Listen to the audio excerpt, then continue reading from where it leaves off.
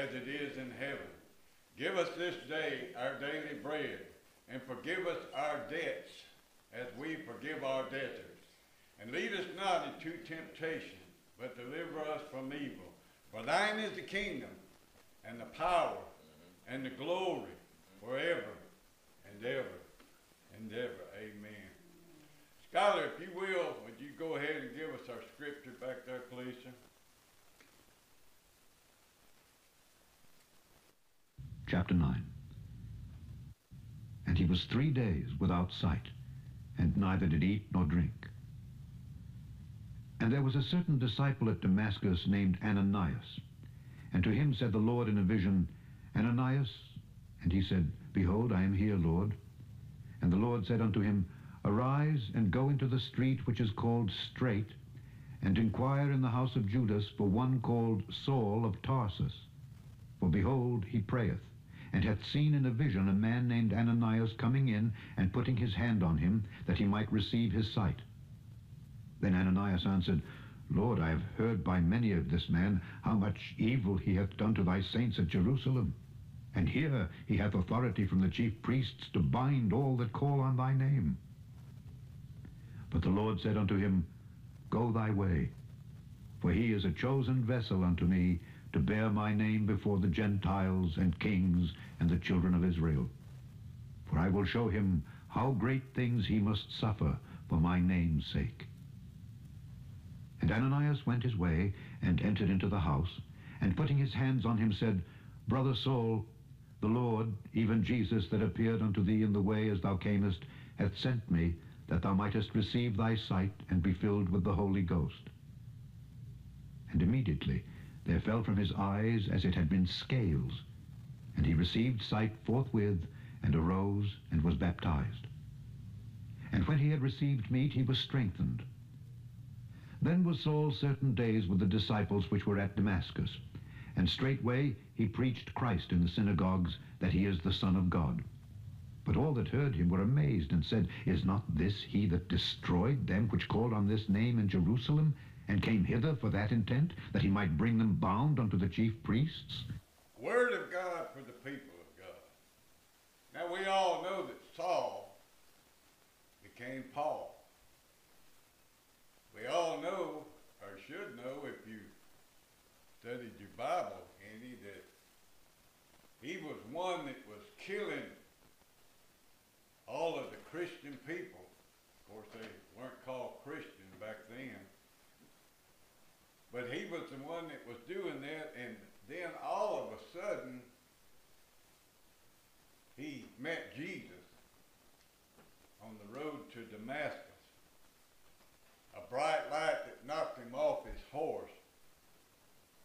And he became the one that wrote probably three-fourths, if not more, of the New Testament.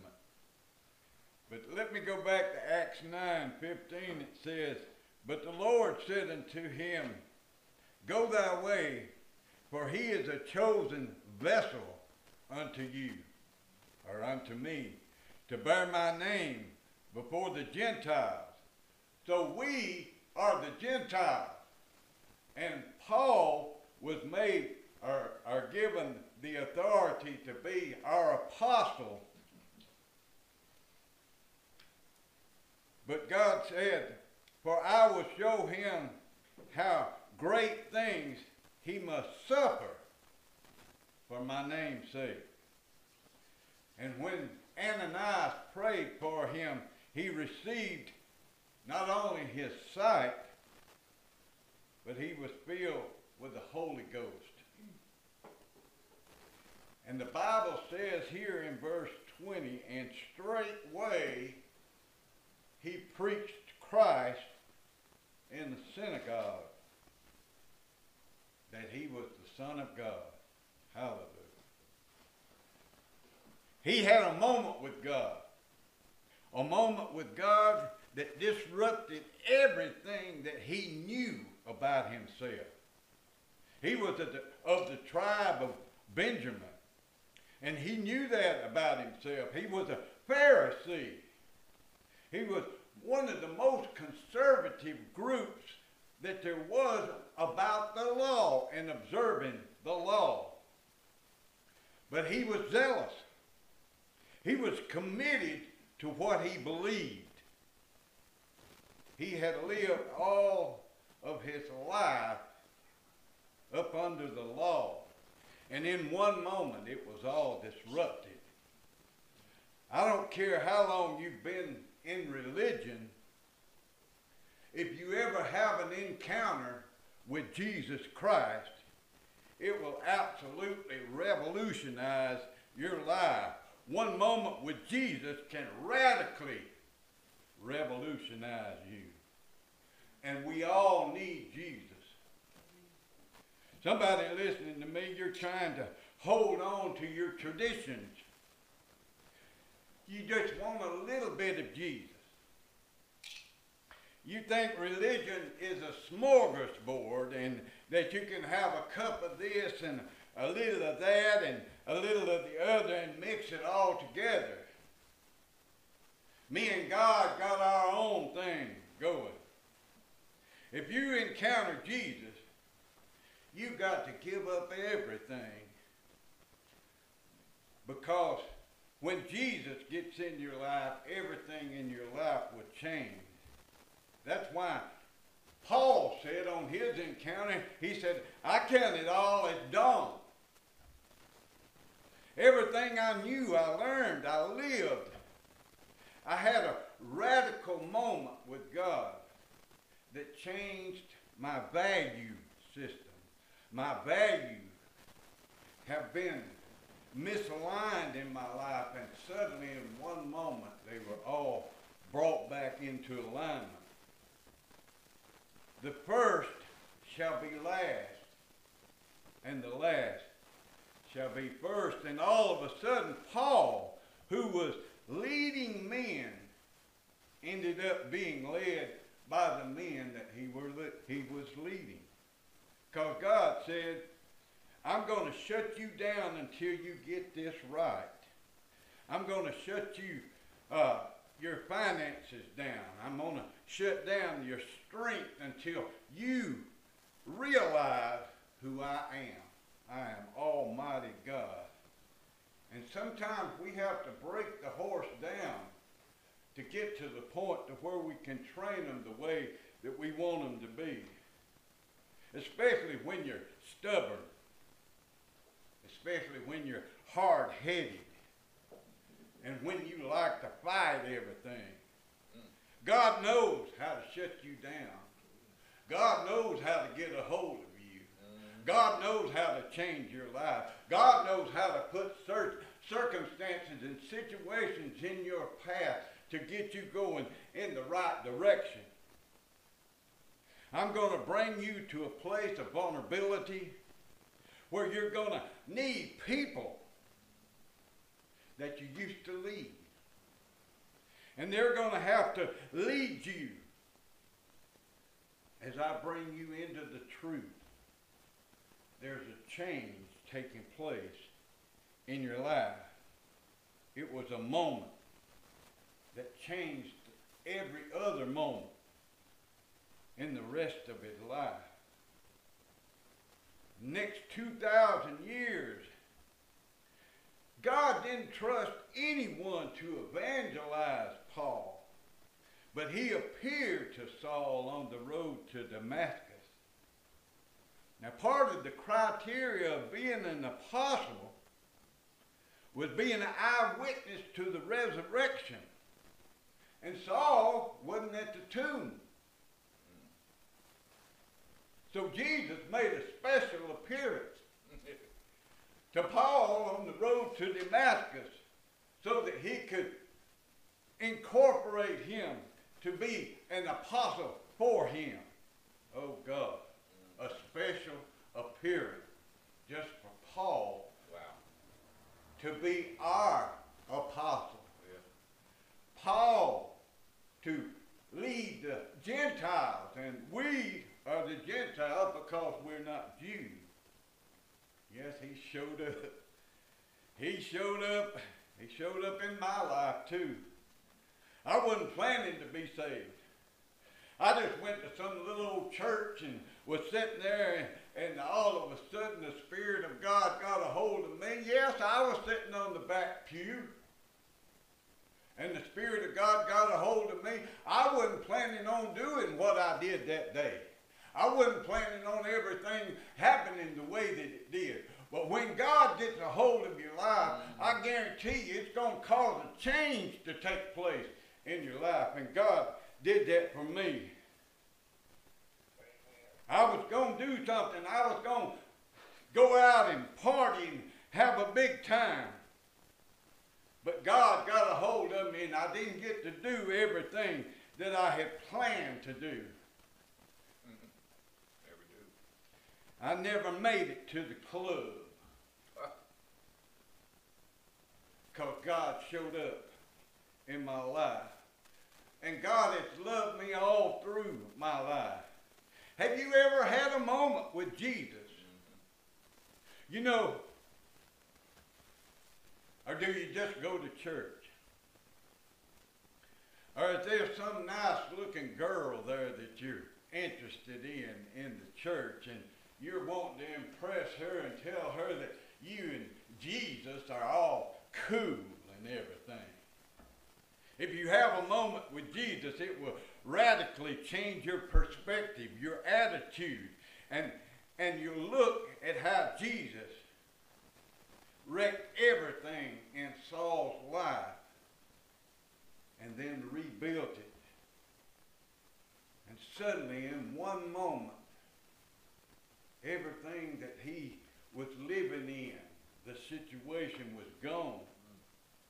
He was changed in the twinkling of an eye. You can't be a member of the Sanhedrin and preach Jesus. You can't be a Pharisee and preach Jesus. You can't be zealous concerning the law and teach grace. It changed his head. It changed his identity. It changed his priesthood. It changed everything about him. God wiped the slate clean, completely clean. This is why Paul said, I profess to know nothing but Christ and Him crucified. He is not just going to fall into the trap thinking that he is smarter than what God is. He spoke in five different languages. But he said, I'm a fool for Christ. And he had a moment with God alone, which nobody there but the men who were with him that led him knew because he was on his way to Damascus. And this is not how you plan to go to Damascus. He was going there in strength. He was going there to actually take all the people and carry them back to the priest for punishment. Paul was on a mission, and all of a sudden his total and complete mission was changed. He had planned to be strong and attack people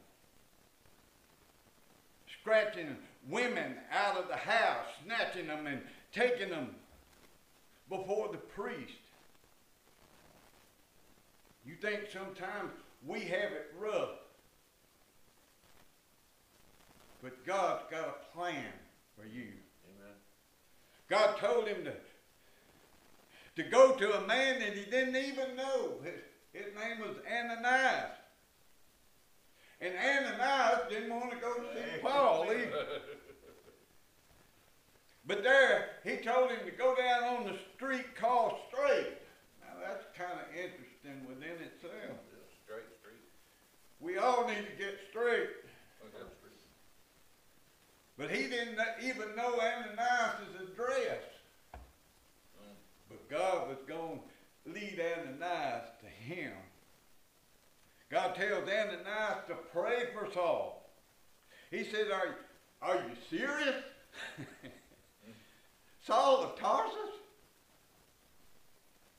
You want me to pray for him? Don't you know what he does? Don't you know what he's done?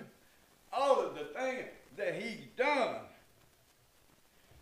God told us to forgive and pray. Forgive pray. But we won't pray for some people because they're not in our clique, our club. I'm not praying for no Democrat. I'm not praying for no Republican. I'm not praying for black folks. I'm not praying for white folks. But I went through something. You know what I went through? I didn't care what you go through when you go through it and you respond to it as a child responds. God will humble you down before. God does promises for you so that you'll know that He's on your side and that He's for you. When you stand praying, the Bible says, forgive if you have anything against anyone. When you stand praying, forgive. How long can you stand? There's some people I just can't forgive. There's some people that's done things for me that is just so bad I, I can't forgive them for it. They don't care.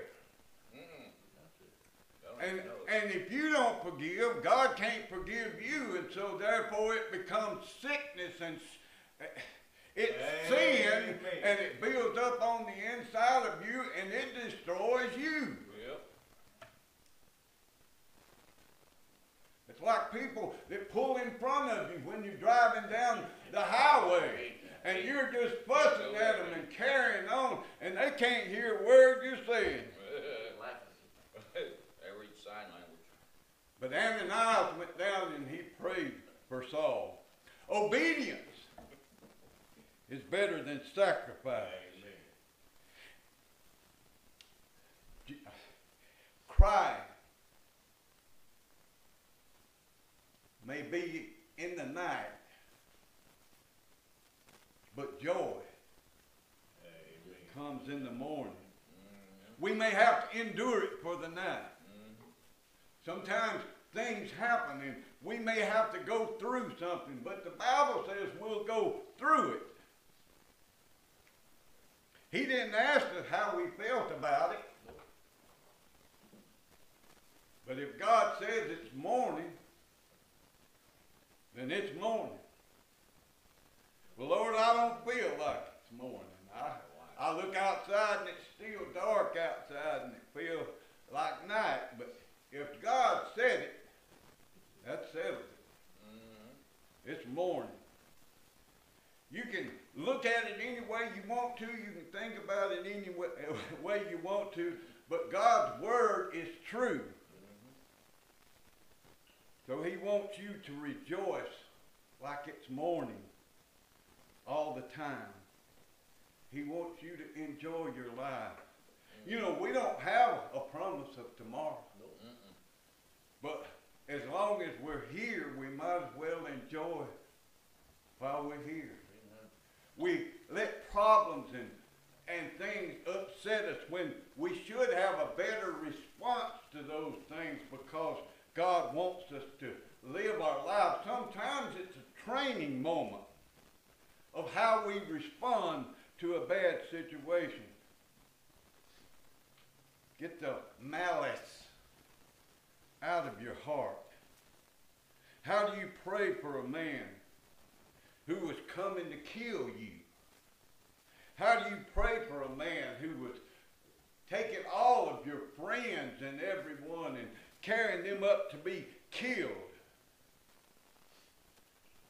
But that's why God accepted you is to help remove the malice from your heart.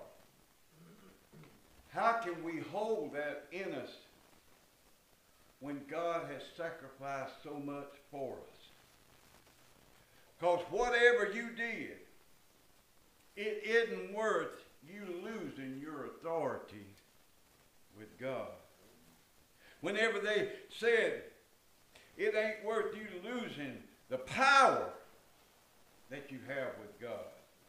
No matter how it hurts you, we still need to forgive.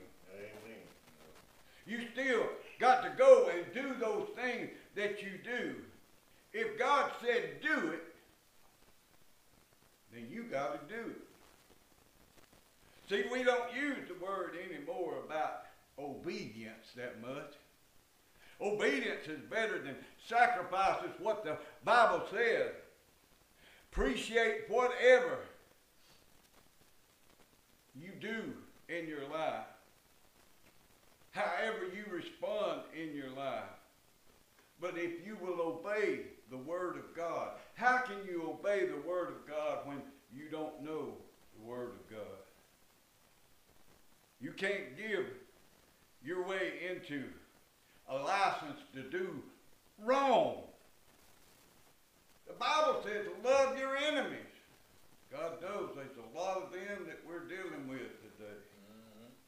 So Ananias obeyed God and he goes down there and lays hands on the man who was going to lay hands on him. can you do it?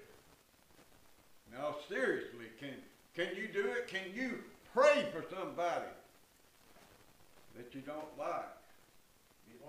Can you pray for somebody that you don't agree with? Can you pray for somebody who's done you wrong? Who continues to do you wrong? Can you do it? Can you lay hands on a person who comes to hurt you? And the Ananias laid hands on Saul, who was going to lay hands on him. The power of his obedience caused the scales to fall off of Paul's eyes. I don't know who I'm preaching to, but I'm talking to somebody that if you would just do what God says do, it'll change your life completely.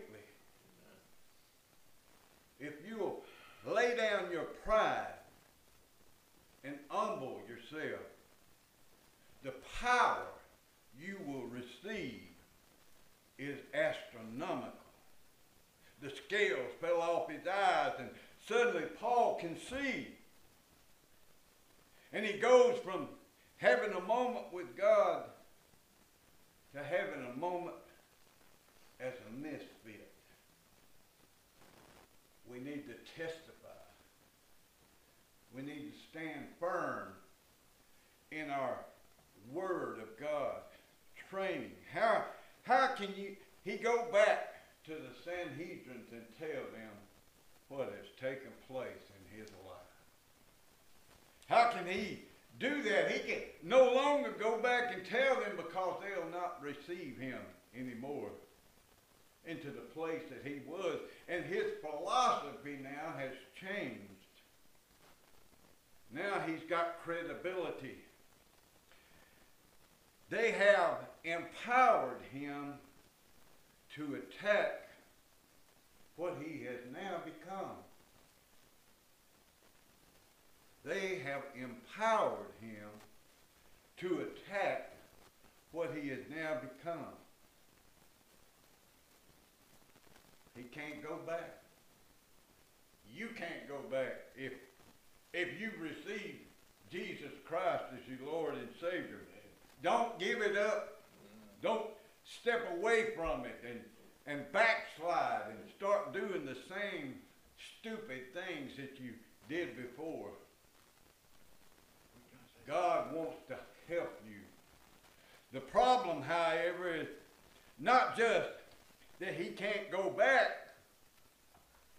because I can leave one group and go to another group. I can be rejected by this group if I'm accepted by another group.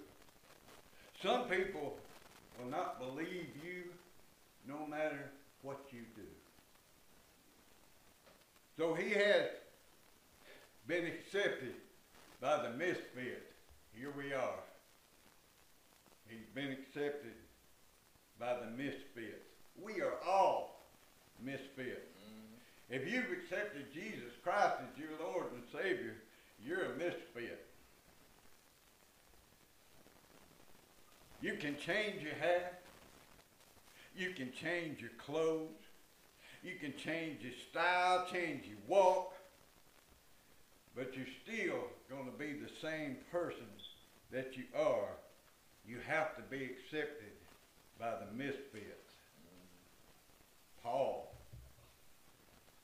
Look at somebody and say, I'm different. I'm different. I'm different.